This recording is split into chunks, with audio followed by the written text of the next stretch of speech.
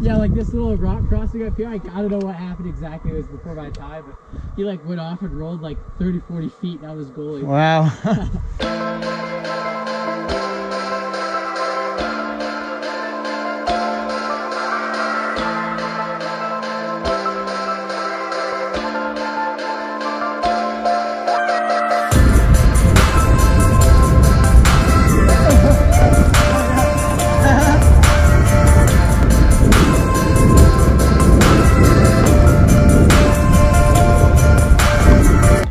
Utah was a very quick but meaningful trip.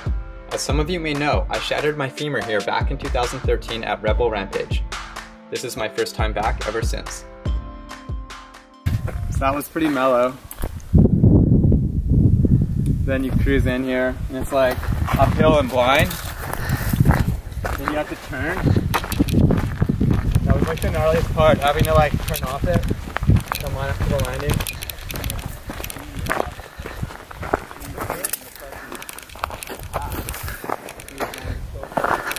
Yeah. Come check it out from the lip. It's crazy. You see how like the clip comes out? A few inches too far to the right. My pedal hit the edge right there. Fuck, I forgot how sketchy this is. well, there it is. The gap that nearly killed me. Landing way down there, right against the cliff. It's pretty wild being back out here.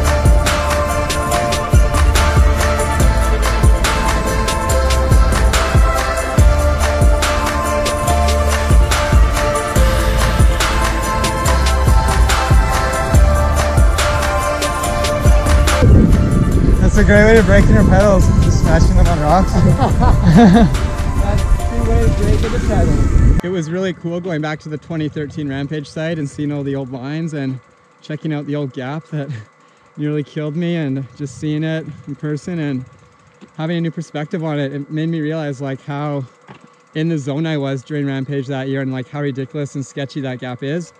There's no way I would even hit it now if I was invited back and I was feeling like 100% on my bike. So yeah, it's kind of it's kind of neat to go back there and just have a fresh perspective of the place and build some good memories while I'm out here and kind of erase the old ones. Cheers, Utah. It was a good time. Can't wait to come back.